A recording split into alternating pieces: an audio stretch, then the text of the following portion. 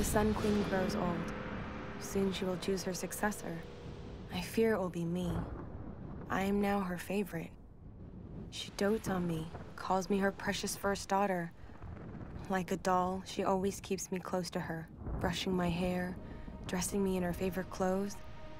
It unsettles me beyond words, but more disturbing, she constantly gazes upon my features as if... as if she's looking at her own reflection.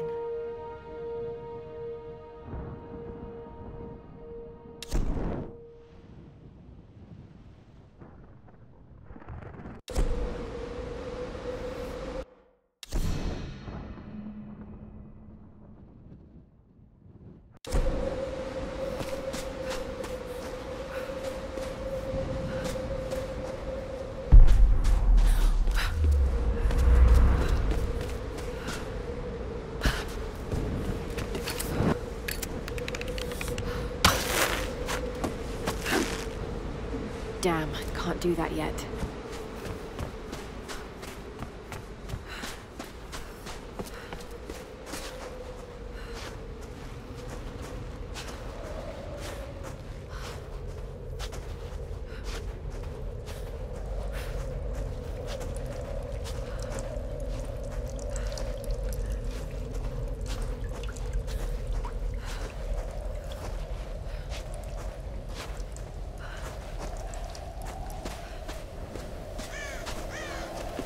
The Endurance. They're tearing it apart.